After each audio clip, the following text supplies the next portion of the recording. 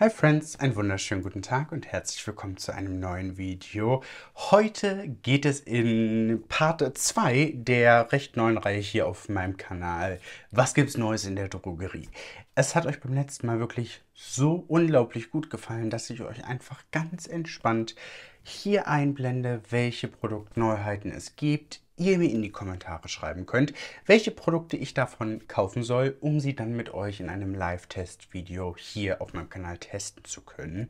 Ich habe die Inspiration von Luise vom Kanal Lubella. Ich verlinke euch ihren Kanal auch einmal unten in der Infobox, ähm, dass es dazu keine Verwechslungen kommt. Aber ich hoffe, es geht euch gut und ich hoffe, ihr habt ein wunderschönes ja, einen wunderschönen Start in die Woche gehabt. Ähm, ich bin ganz happy. Ich habe nämlich gerade ein Almost Full Face Maxim Giacomo im Gesicht und ähm, es ist gar nicht mehr so lange, bis ihr wisst, was krasses passiert.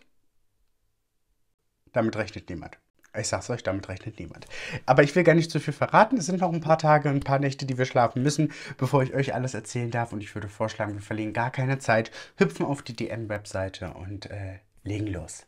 Ich rutsche wieder hier ein Stückchen zur Seite, dass ihr hier die Produkte einmal eingeblendet äh, sehen könnt. Es gibt wieder viele, viele Produkte äh, in der Drogerie. Einige Produkte habe ich auch schon gezeigt, beispielsweise die Maybelline-Produkte oder das Catrice-Update. Da sind die ersten Produkte auf jeden Fall auf der DM-Webseite schon erhältlich. Und ich würde vorschlagen, wir starten einfach mal und überspringen so ein bisschen die Catrice-Neuheiten, denn da gibt es wirklich unendlich viele. Falls ihr die Videos zu dem Catrice-Update, beziehungsweise die drei Videos zu dem Catrice-Update nicht gesehen habt, ich verlinke sie euch einmal unten in der Infobox.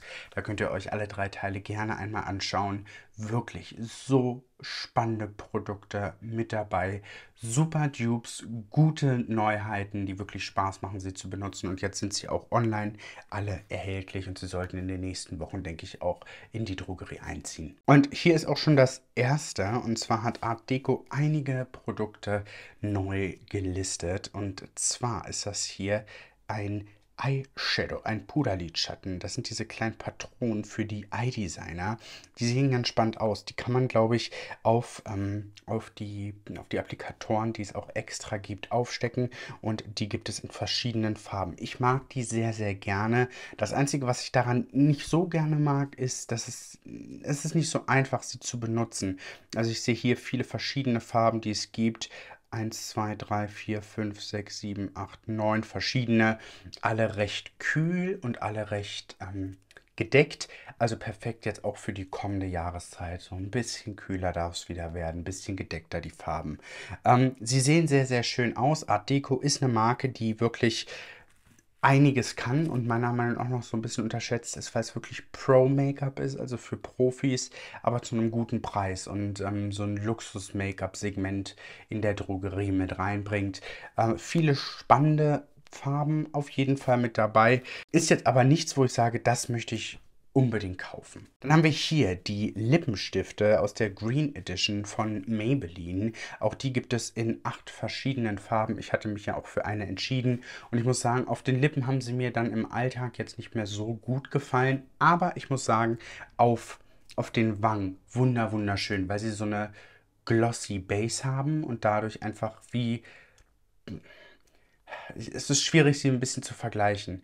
Ähm, Sie sehen sehr, sehr frisch auf der Haut aus und als Blush funktionieren die halt perfekt. Das Einzige, was mich und euch da vor allen Dingen auch so ein bisschen gestört hat, waren die, ähm, die, die, Duftstoffe. Und viele von euch hatten das auch äh, in dem Video kritisiert, dass das so ein bisschen einen Hauch an Greenwashing hatte, dass ähm, die Firma oder Maybelline es jetzt halt nur macht, damit damit sie irgendwie was machen und dann aber Duftstoffe mit rein. Das hat für mich irgendwie nicht so viel Sinn ergeben. Es war für mich persönlich ein Schuss in den Ofen.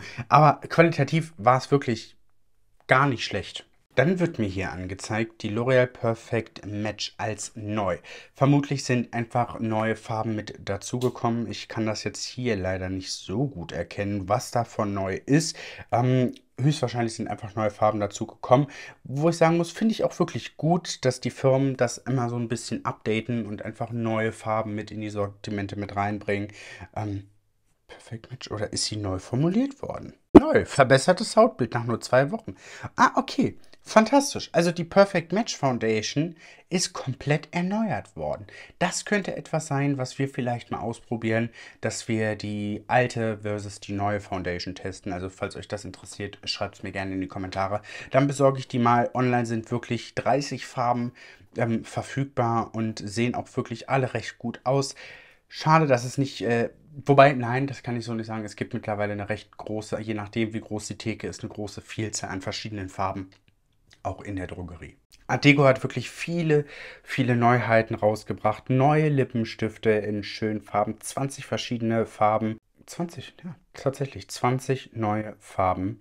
Ähm, das Packaging gefällt mir sehr, sehr, sehr, sehr gut. Es gibt hier schöne rosige Töne, auch einen schönen Orangeton. Den finde ich persönlich super, super cool. Ich weiß nicht, ob ihr ihn erkennen könnt.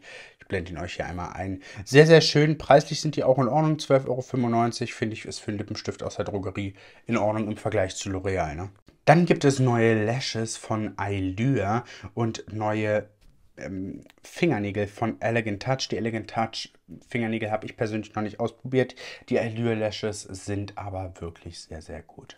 Und bevor wir weitermachen mit den Drogerieneuheiten, freue ich mich, dass dieses Video in Zusammenarbeit mit Jepoda entsteht. Ich zeige euch mal ein paar Favoriten und es gibt wieder eine Menge zu sparen für euch. Und ich bekomme ja unglaublich viele liebe Kommentare von euch, was ich für meine Haut mache. Und ich will euch mal zwei Produkte zeigen, die meiner Meinung nach das meiste tun, gerade bei dem Wetter jetzt. Wenn die Haut wirklich von der Sonne überreizt ist, wenn sie so ein bisschen ausgetrocknet ist. Und ihr könnt sehen, ich habe nichts im Gesicht. Ich hole euch gleich ein Stückchen heran, dass ihr die Hauttextur auch sehen könnt. Und das sind diese zwei Schätzchen von Jepoda. Mit meinem Code könnt ihr 30% aufs komplette Sortiment sparen, falls ihr Jepoda noch nicht kennt. Bei Jepoda ist es so, dass ihr auf den Verpackungen immer so kleine Step-by-Step-Anleitungen habt. Hier steht beispielsweise Step 4. Das heißt, ihr habt eure komplette koreanische Skincare-Linie, die made in Korea ist und komplett vegan ist. Und Ihr wisst also immer, welche Produkte ihr in welcher Reihenfolge benutzen sollt. Und das ist elementar wichtig für eine sinnvolle Skincare-Reihe. Denn wenn ihr verschiedene Produkte in der falschen Reihenfolge auf eure Haut bringt, können beispielsweise die Feuchtigkeit nicht in die Haut penetrieren oder das Öl verschließt die Haut. Es ist sehr, sehr wichtig, in welcher Reihenfolge die Produkte sind. Und ich starte mit dem The Mist Have und ihr könnt es sehen, das ist fast leer. Ein Hyaluronsäure-Spray mit Lavendel und das versorgt die Haut so gut mit Feuchtigkeit. Der Sprühnebel ist fantastisch. Es legt sich richtig schön auf die Haut und ich zeige euch das Ganze mal von Namen. Schaut euch mal meine Haut einmal an, wie schön mit Feuchtigkeit versorgt die Haut jetzt schon ist. Übrigens ist das ein sehr, sehr gutes Fixing Spray.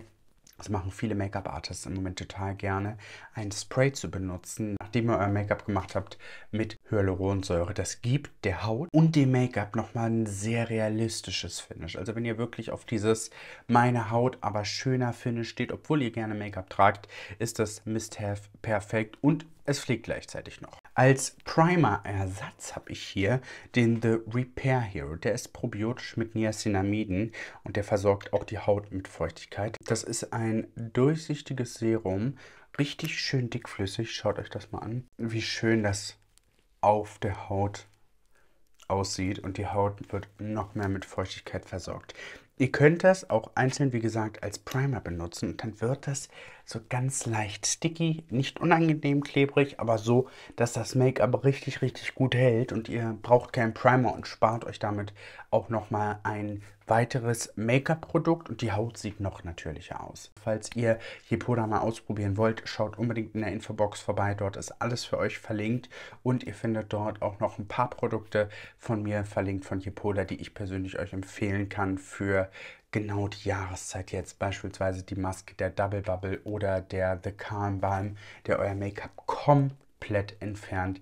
Ist alles unten für euch verlinkt. Schaut da gerne vorbei und jetzt gerne einmal zurück zu Maxim. Also schaut gerne einmal bei Jepoda vorbei. Dort findet ihr ein richtig, richtig cooles Angebot. Mit meinem Code könnt ihr 30% auf euren Einkauf sparen. Vielen Dank an Jepoda und wir schauen weiter, was es Neues in der Drogerie gibt. Auch NYX hat neue Lashes rausgebracht.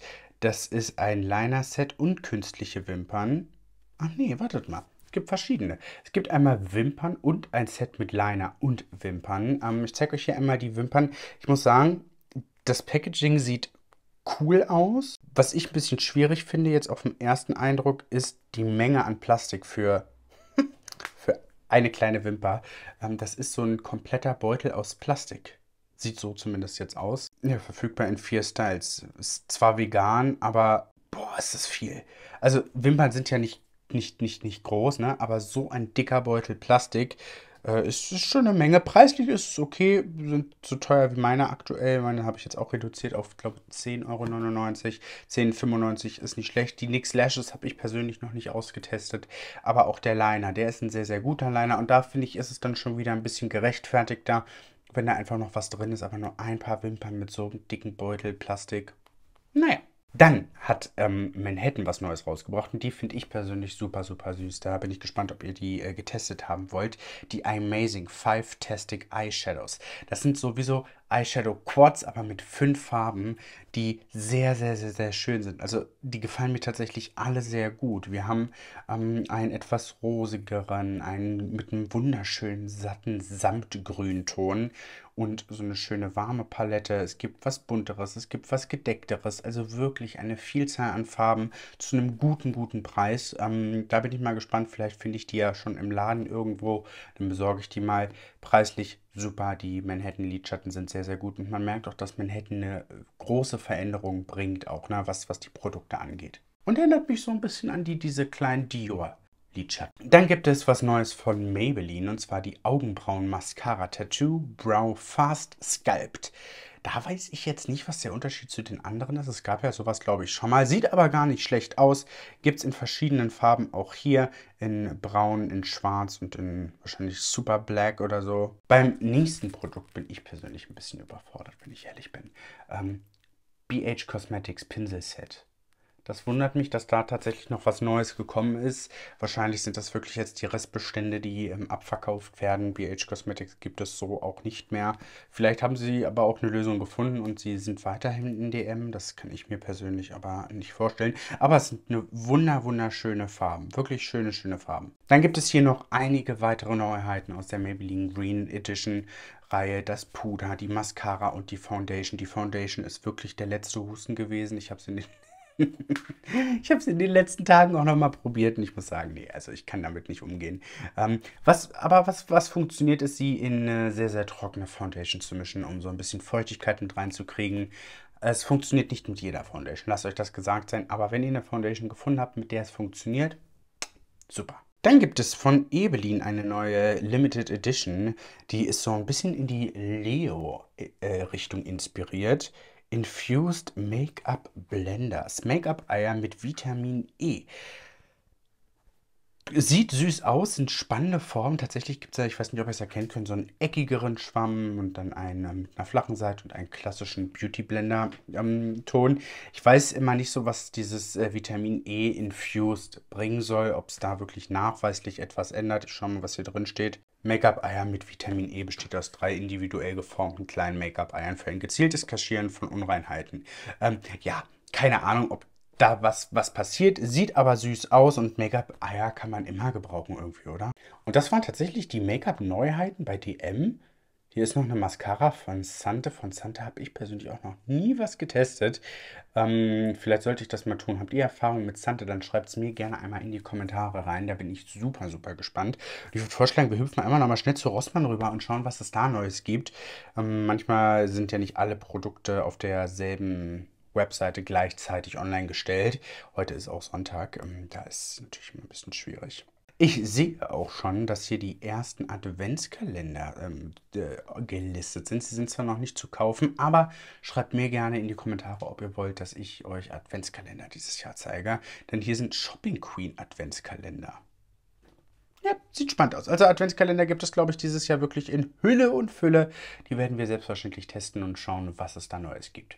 Auch For Your Beauty hat eine neue Limited Edition rausgebracht. Ähm, ein Haarband mit Blümchen, ein dreiteiliges Summer Eyes Pinselset und ein zweiteiliges Summer Face Pinselset. Die sehen sehr, sehr, sehr, sehr gut aus und die For Your Beauty, also die Rossmann Eigenmarke Pinsel, sind auch sehr, sehr, sehr, sehr gut. Ah, hier ist was Neues. Und zwar hat Maybelline die Superstay Matte Inks in einer Limited Edition rausgebracht. Die werden jetzt, glaube ich, fünf Jahre alt und die gibt es jetzt in einer neuen Verpackung. Der Inhalt ist aber wohl derselbe und die sind auch nur in der Filiale erhältlich, dann vermutlich auf einem extra Aufsteller. Sehen sehr, sehr gut aus. Ich mag die total gerne, die Super Matte Inks. Super Deckkraft, sie riechen toll, sie, sie, sie halten toll, die Farben sind wunder, wunderschön und überhaupt eine große Empfehlung. Dann ist hier etwas Neues von Essence und das ist ein One-Two Freeze Primer. Gel to Sorbet Face Primer. Angeblich soll man den einfrieren. Das ist verrückt. Mit dem Essence 1-2 Freeze Gel to Sorbet Face Primer Glow Boosting macht die Beauty-Routine doppelt Spaß. Denn der gelige Primer verwandelt sich nach mindestens drei Stunden im Gefrierschrank in einen sorbetartigen Zustand. Somit bietet er gleich zwei unterschiedliche Texturen zum Auftragen. Kleiner Hack, durch die Lagerung im Eisfach bekommt der schnell einziehende Face Primer einen kühlenden Effekt und wirkt damit abschwellend und optisch Poren minimierend. Der enthaltene Pfingstrosenextrakt sorgt on top für einen wunderschönen Glow. Das finde ich persönlich super, super spannend. Ich weiß nicht, wie, wie praktisch es ist, ähm, etwas einzufrieren, aber es klingt sehr, sehr, sehr, sehr spannend und sieht süß aus. Vielleicht habe ich die sogar schon hier irgendwo. Ich schau mal, vielleicht machen wir dazu ein komplettes Video. Das ist etwas, mit so Spielereien, mit sowas kriegst du mich ja eigentlich immer. Ne? Das macht Spaß, sie zu benutzen. Die Sachen sehen toll aus, es riecht gut und man hat Freude, das Make-up zu benutzen. Das ist ja bei der Menge, die mittlerweile rauskommt, wobei ich auch da sagen muss, es ist in den letzten Monaten echt ein bisschen besser geworden, oder? Dass es nicht mehr so so viele verschiedene Produkte rauskommen. Und dann gibt es hier auch noch einen neuen Mosaikpuder von Physicians Formula.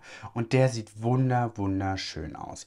Das ist ein Bronzer Powder mit so einem, ja, sieht aus wie so ein Fischschuppenmuster, der einen natürlichen braunen Glow hinterlassen soll, dezent im Winter Perfekte Finish, dezent im Winter und strahlend gebräunt im Sommer für einen warmen und gesunden Tag. Der sieht sehr, sehr, sehr, sehr schön aus. Und das waren tatsächlich auch schon die ersten Produktneuheiten aus der Drogerie. Schreibt mir gerne in die Kommentare, welche Produkte euch davon am meisten interessiert haben. Dann kann ich die ganzen besorgen. Und schreibt mir unbedingt in die Kommentare, welche Adventskalender ich testen soll. Das wird es dann vermutlich wie so ein Sonntagsvideo on top oder so geben. Muss ich mal schauen, wie ich das dann irgendwie hier, hier unterkriege. Aber ich würde mich mich auf jeden Fall riesig, riesig freuen, für euch wieder Adventskalender auspacken zu dürfen. Wir sehen uns schon ganz bald hier wieder, ihr Süßen. Passt auf euch auf.